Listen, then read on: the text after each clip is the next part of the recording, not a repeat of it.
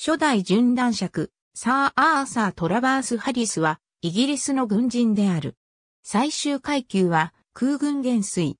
1892年4月13日、チェルトナムで生まれる。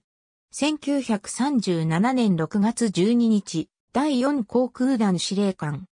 パレスチナ人の反乱放棄を鎮圧するイギリスの現地指揮官となったハリスは、不穏な言動をする村を250ポンドか500ポンド爆弾で、かっこ撃破しろ。アラブ人が理解することは、ただ一つ、厳しい行動だけだと提案したが、実行はされなかった。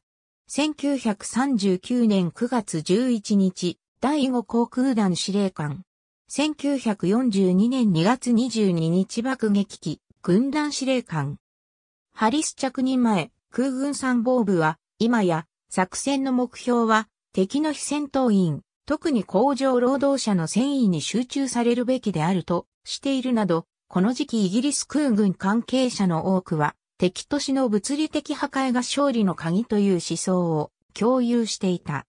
1942年3月から焼夷弾を中心とする都市破壊爆撃の実験をドイツのリューベック、ロストックに対して行い、ドイツも報復として1942年4月からベデカー爆撃を行っていた。しかし、ハリスはさらに野心的な空爆を計画した。単一の都市に1時間半にわたり1000機もの爆撃機をなだれ込ませ、都市防衛、対空砲火だけでなく、消防や救護活動をも無力化し、爆弾と焼夷弾を集中して焼き払うというアイデアである。飛行機には容量の許す最大限の焼夷弾を積み、2400メートルの高度から落とす。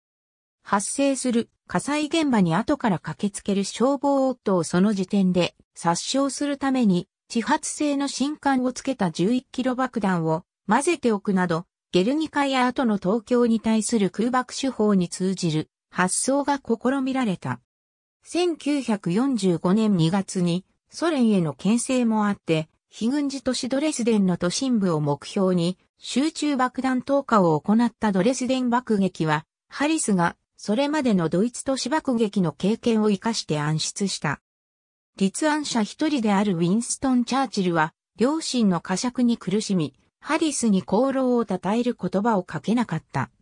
ハリスはドイツへの地域爆撃の指揮官として、ブッチャーという異名が付けられた。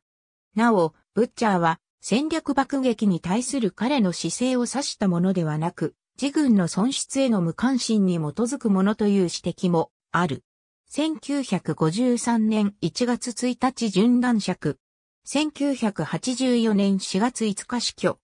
1992年、ロンドンの中心部にハリスの銅像が建立されたが、ドイツ政府はそれに抗議した。完成式典の当日は、警官隊とドイツ人を中心とする集団が揉み合いになる騒ぎが起こっている。ありがとうございます。